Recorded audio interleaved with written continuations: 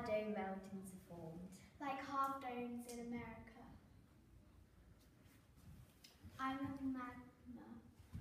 And I'm the earth.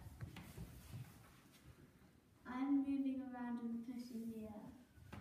I'm now a dome mountain.